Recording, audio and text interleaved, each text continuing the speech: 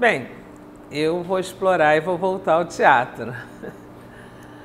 O teatro é isso que a gente estava conversando, essa proximidade com, com, a, com os atores, com o que está acontecendo. É como se você estivesse ali dentro. Você sente aquela sensação e você reflete sobre aquilo que você está acontecendo. Então, por isso que eu opto. Entretanto, eu gosto muito de cinema, eu gosto muito de documentário e até antes da gente começar a gravar aqui, a gente estava falando sobre isso, que a gente a gente sempre assiste o que o nosso entrevistado nos sugere.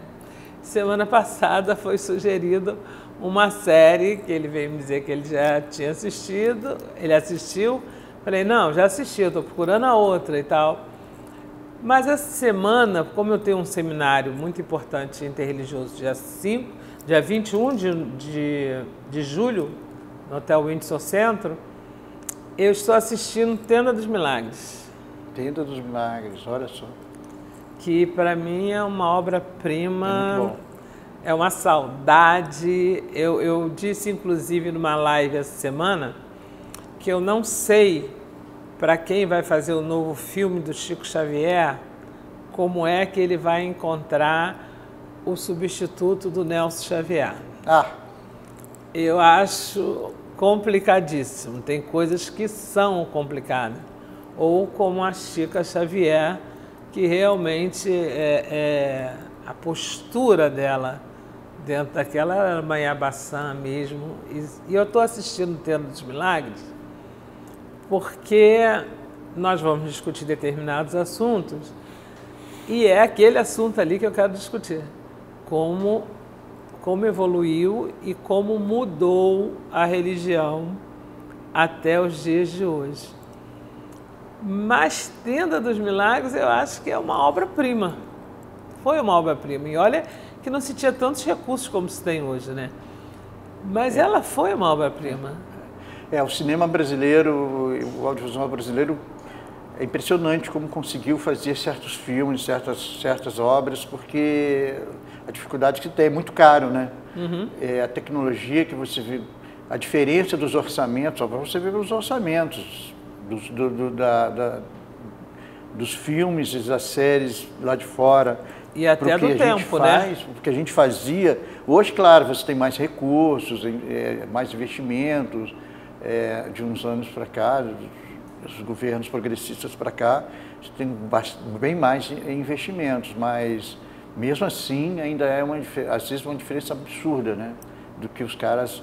É, e a compreensão de que... Porque os caras também têm uma compreensão de que aquilo é um, uma, uma indústria, um, lugar onde se trabalha, onde se ganha muito. Muita gente pode trabalhar, muita gente pode ganhar dinheiro, muita gente uhum. pode viver daquilo. E é muito importante. E no mundo de, de hoje, onde as pessoas aparentemente têm mais tempo para assistir, vocês nunca viu... É uma loucura, porque assim o que, tem que você tem que ter de conteúdo para essa gente toda no, no audiovisual. Porque, Sim. Porque, né, e os filmes também eles perdem um pouco, às vezes os filmes, não é o caso do Tenda, mas às vezes os filmes perdem o tempo, aí já não se fala, mas aquele assunto já não se interessa, tem que fazer uma outra, fazer uma outra coisa, então você está sempre renovando. Sim. É impressionante o que se produz. É, o teatro não, o teatro como ele acontece no momento que você está fazendo, você pode fazer uma peça de muitos anos atrás, e aí como você vai montar agora, você, por mais que você coloque ela naquela época, está é, dialogando com a pessoa de hoje naquele momento a situação tem uma aproximação natural, o que não acontece muitas vezes no audiovisual. Você tem que mudar o roteiro, porque é gravado, como você diz, que é gravado. Por exemplo, aquilo ali engessado, você não Sim, aquilo já não é mais. Por exemplo, eu fui assistir há pouco tempo Pietro é, fazendo Chico Xavier e me surpreendeu um pouco quando ele entrou. Bem, primeiro porque o cenário era todo antigo, claro, tinha é. que ser, da época do Chico Xavier. Sim. E o Pietro, ele não era o Pietro, ele não era o Pietro do nosso lar, sabe, o André Luiz? Ele era um, um, Pietro já acorcovado e tal. E depois a gente estava conversando e ele falou para mim, Luzia, eu convivi muito tempo com o Chico. Então eu consegui pegar é, o jeito dele, como é. ele era, a maneira de falar, a maneira de se colocar e você via o Chico. Isso era, era e eu falei para ele, engraçado, eu achei que eu ia ter muita dificuldade de ver o Chico depois da morte do, é. do Nelson Xavier. Mas até nisso ele foi muito, foi muito, foi muito inteligente, porque ele desceu bem o chapéu do Chico. Então você viu o Chico, você não viu o rosto do Pietro, você via o Chico. Ah. Então eu acho que ele foi muito inteligente. Um artifício, né? Foi um artifício nisso. Uhum. E Hoje, isso que você está falando, por exemplo, Tendo dos Milagres levou um século para ser gravado, com grandes problemas. Hoje você já vê que, até por questões financeiras, uhum.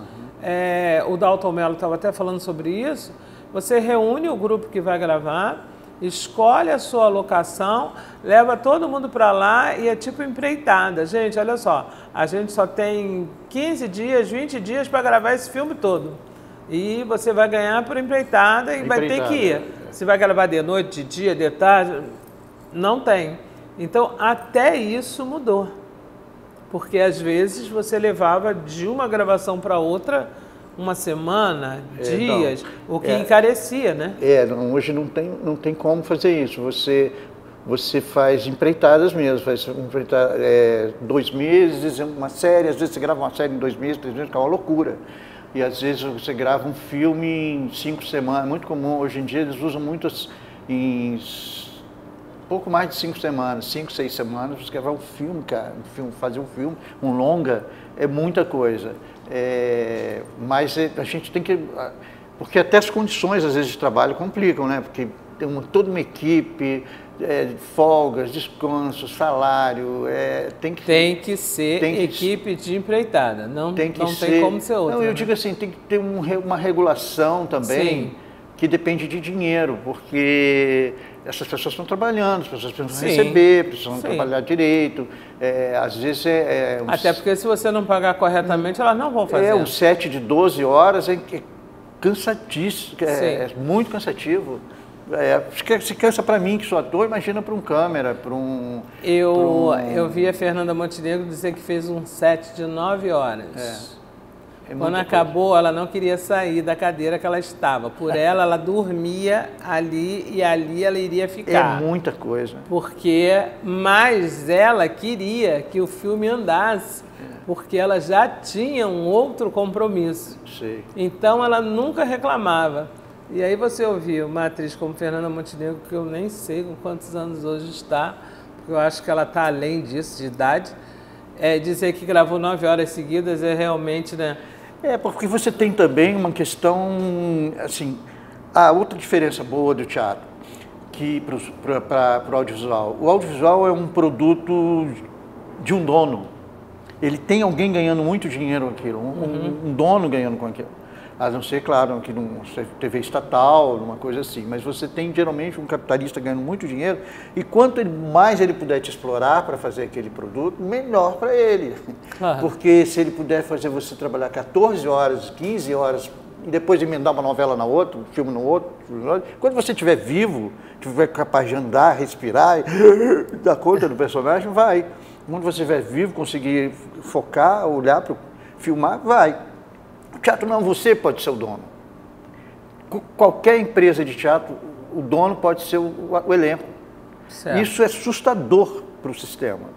Porque aí o elenco define como faz. A gente vai trabalhar em um mês, a gente vai trabalhar em três meses, a gente vai estar sem, sem ganhar, a gente vai ganhar muito.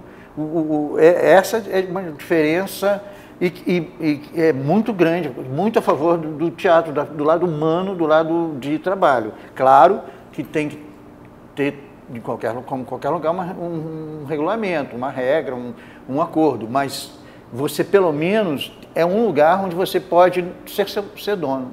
A gente pode, eu e você, montar uma empresa de teatro é, e fazer uma peça, eu e você. A gente não precisa de câmera, a gente não precisa de estúdio, a gente não precisa de, de todo o aparato tecnológico, uhum. não precisa de um lugar para distribuir, a gente pode fazer na rua se a gente quiser. Não precisa de. Isso é é, é, faz com que as pessoas que trabalham no teatro sejam mais donas desse, desse, desse, desse negócio. E outra coisa, ele é, está sempre atualizado, né? porque a gente está fazendo agora, a gente está fazendo um produto que vai ao ar no que vem, que vai ao ar daqui a. Eu, eu, me lembro que às vezes a gente, no Brasil tem tanta dificuldade de produção de, de, de cinema que você grava e aí faz um filme e aí leva quatro anos para você captar a segunda parte, a terceira parte, para o filme ser ir lá na frente. Aí vou ver, já não, aquele filme às vezes já perdeu até o interesse pelo, pelo, pelo o tema já passou, passamos, estão usando, o, o, o diretor já está noutra, as pessoas já estão fazendo outras, filmando de outro jeito, o mundo já mudou. E, e o teatro não é agora. Se a gente estrear agora, a gente pode demorar um tempo trabalhando, pode estrear, já ensaiei peças durante anos. Quando, quando vai quando vai estrear, vai estrear para agora. É esse momento que está valendo, é isso que está valendo. Então, essa diferença também é muito, muito importante para o teatro. A, a, a, questão da, de você poder ser dono do trabalho.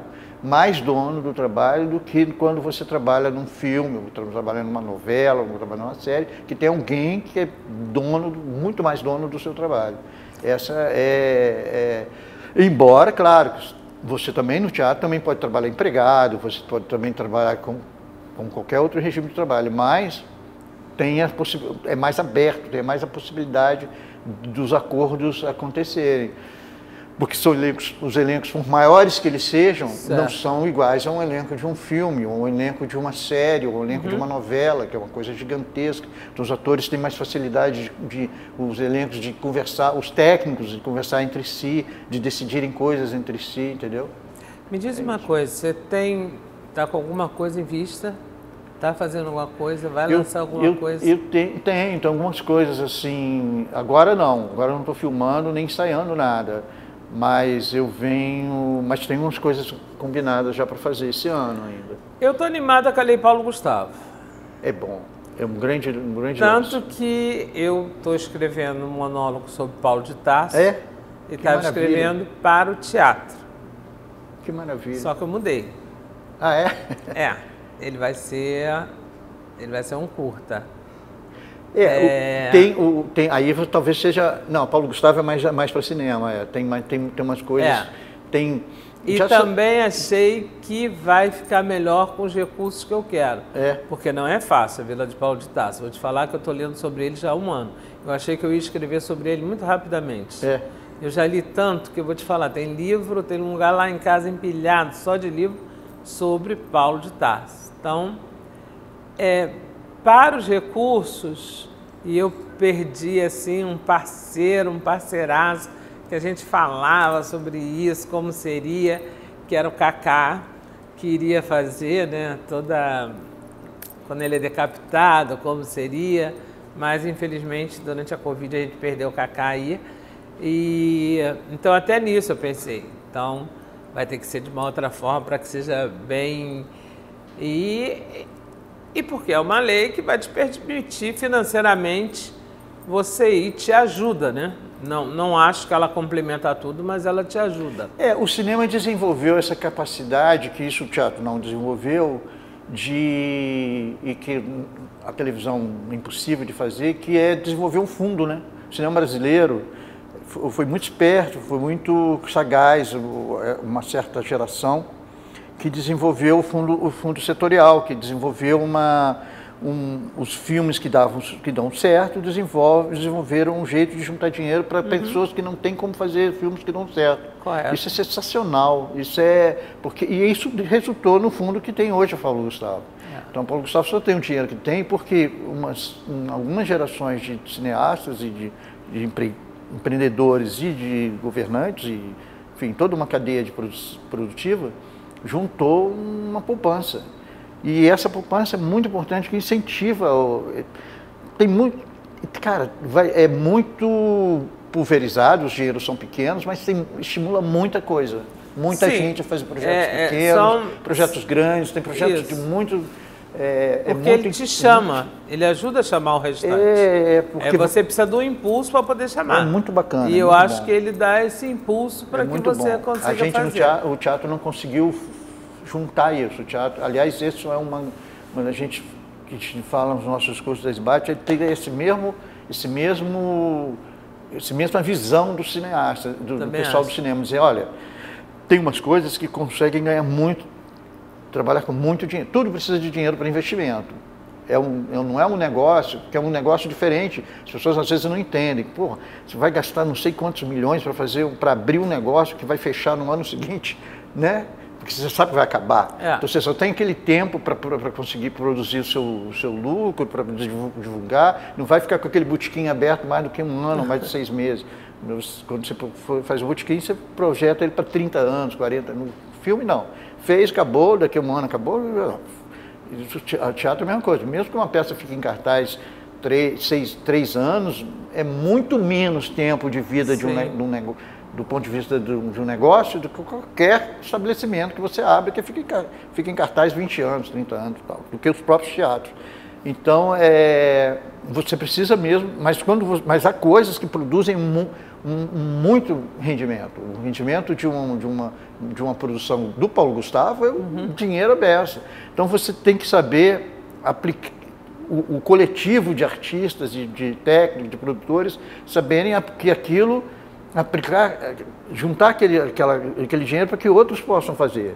E, e no teatro a gente não, não tem essa escultura que tem no, no, cinema, que é, assim, que é incrível, que é Bem, muito legal. Olha, a conversa com a Nebo é assim, gente. Ela termina. E a nossa está terminando. Queria que você deixasse um recado aqui para o nosso pessoal, principalmente para não perder esse estímulo nem com teatro, nem com cinema. Aliás, a gente não deve perder o estímulo com nada na vida. É, é. Que fácil ela não é, é. Né? Também ninguém disse que ia ser fácil, né? Então, fácil ela não é. Mas queria que você deixasse uma mensagem. Eu acho que, por exemplo, você deu esse toque da Paulo Gustavo. Acho que as pessoas que gostam de audiovisual devem procurar é, ler os editais, ver o pessoal da sua cidade. Todas as cidades estão recebendo verba, é, desenvolver seus projetos. É muito importante. É, e, e procurar, procurar, procurar quem ajude a, a, montar os projetos, a fazer os projetos. E, enfim, e o pessoal do teatro, toma aí, vamos na luta, e, e também tem verbas. Do, agora a gente está saindo de um, de um, de um pesadelo nesse país, e aí eu, eu tenho a impressão que as coisas já já vão entrar no lugar e a gente vai conseguir trabalhar é, bem de novo. Acredito nisso. Bem, chegamos ao fim do nosso programa. Estaremos de volta semana que vem, aqui na TV Alerta, do canal do Povo.